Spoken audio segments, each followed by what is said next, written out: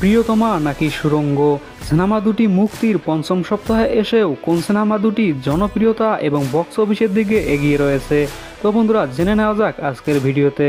Superstar Shakib Khan এবং ওপার বাংলার অভিনেত্রী ইদিকাপাল অভিনীত হিমেল আশরাফ পরিচালিত প্রিয়তমা সিনেমাটি শাকিব খানের পঞ্চম সপ্তাহের রেকর্ড টোটাল সেল করেছে ছাব্বিশ কোটি টাকা। এটা হলো শাকিব খানের পাওয়ার, কারণ সুপারস্টার শাকিব খান দীর্ঘদিন ধরে চলচ্চিত্রে রাজ করে চলেছেন। এর একটাই কারণ, সুপারস্টার শাকিব খানের সাথে রয়েছে সাকিবিয়ানরা সাকিবিয়ানরা চাইলে নতুন নতুন রেকর্ড যোগ করতে পারে।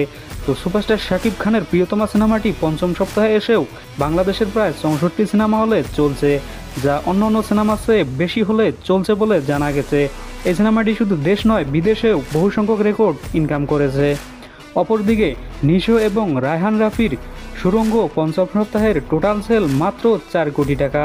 এখন পর্যন্ত এই সিনেমাটি ফ্লোপ কারণ চার কোটি টাকা এটা টোটাল কালেকশন সিনেমাটির বাজেটই রয়েছে তিন কোটি টাকার ওপরে।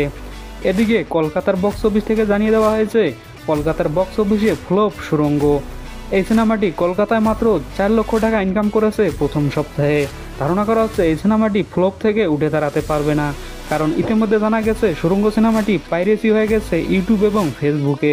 অপরদিকে সুপারস্টার শাকিব খানের সিনেমাটি পঞ্চম সপ্তাহে এসেও সারা বাংলাদেশের প্রায় চৌষট্টিটি সিনেমা হল এবং বিদেশের অনেকগুলো হলে চলছে।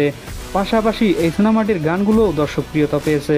তো বন্ধুরা, আপনারা কার ভক্ত? কমেন্ট করে জানিয়ে দিন আমাদের কমেন্ট বক্সে।